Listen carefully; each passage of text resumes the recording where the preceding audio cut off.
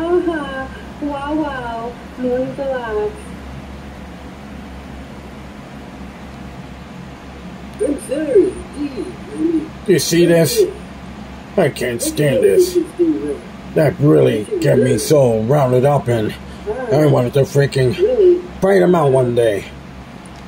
I thought you were. Mr. Wiggle, I understand what's between you two, but man, I, I mean, you can always talk to me then. I mean, if that's the case, I, I mean, I don't want you to be Never mind, man. alone or be ignored, but come on, man. I understand what you're going through.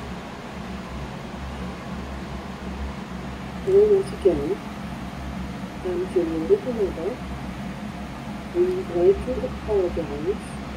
Why she have to leave me? Why she have to choose that shark over me? That's not fair. I can't stand it. That's just a. Therefore, we've had a short chat.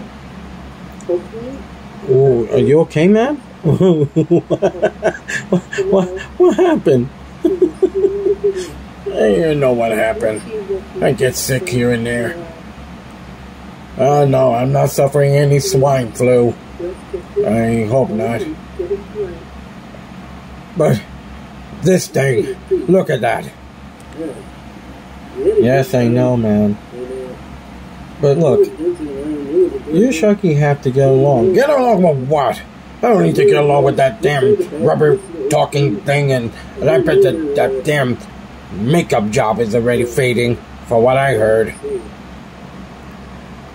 Yeah, Jenova Sharky got a lot of things going on, and they have slight arguments here and there. But you know what? I remember, Mr. Wiggle, that you and her used to get along with no arguments, which is cool, until your brother came along. Remember him?